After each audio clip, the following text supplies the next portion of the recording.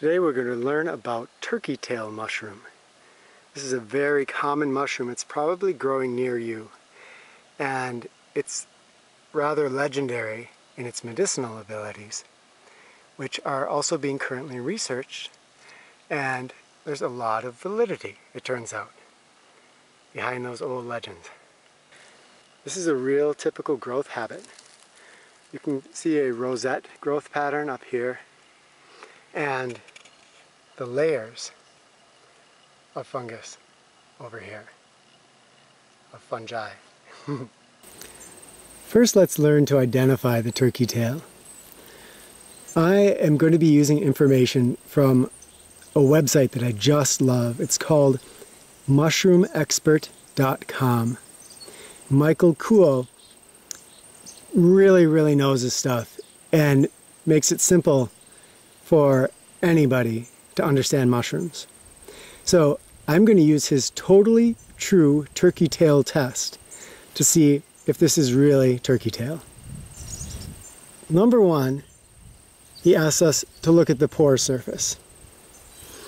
Now, some other lookalikes have a different underside. You can see here we have maze-like gills. Really beautiful. Other fungi that look similar have um, have long gills that are not maze-like. Here we have pores. And he asks, do you definitely have a pore structure? And here the answer is a resounding yes. Number two, we're looking at how many pores per millimeter. It's kind of a rough estimate, but he uses, do you have one to three or do you have three to eight? Another way to think of it is if you have one to three, it's going to be fairly large pores. Here you can see that we have a lot of pores per millimeter. We have really small pores that if you step back, it's even difficult to see if it has a pore surface. But if you come up close, sure enough. Number three is the top surface velvety or hairy or fuzzy. And here you should be able to see that we have a really nice fuzzy hair on there. But note that there are other species that similarly have a very velvety soft top surface. Number four, he asks us to look at the cap coloration. Is it gray to whitish in color? And then you have a different species. Turkey tail, I usually see it in brown colorations. Though people have reported it, and I've seen photos actually, of colors as wild as, as bright blue. Um, I've heard of it in greens too. It will sometimes be sort of a, a reddish brown as well.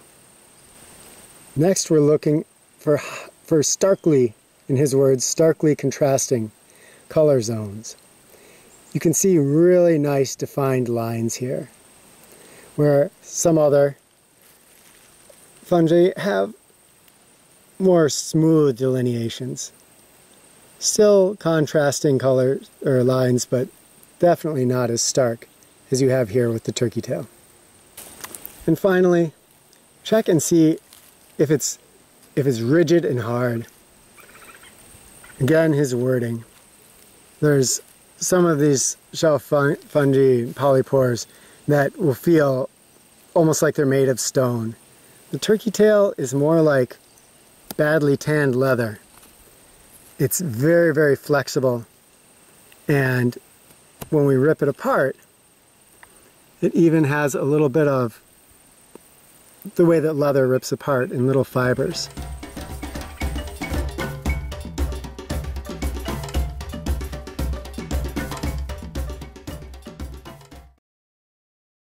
If all of those six points check out, then you know that, thank you Michael, you have totally true turkey tail mushroom. Now, what is this stuff good for? This little fungus is a powerful medicine. It's my understanding that it's used in Japan right now in conjunction with uh, conventional cancer therapies to great results. Traditionally, it was considered an immune enhancer and a powerful antioxidant. And studies seem to be bearing that out. There's been a couple clinical trials on, I've read one on breast cancer and one on colon cancer, where the NK, the natural killer cell count, really increases when these are used. So what that means is that after the radiation therapy, these boost one's immune system. Like anything else that's non-conventional medicine, you have to go on your own journey with this and and decide you know what part conventional medicine is going to play in your life and what part alternative medicine is going to play in your life.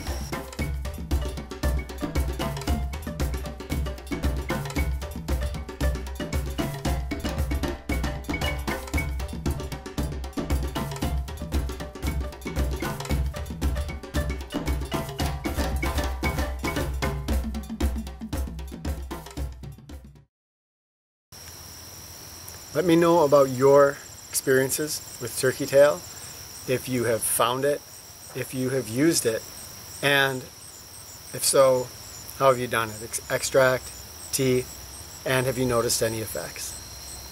Alright, thanks for watching.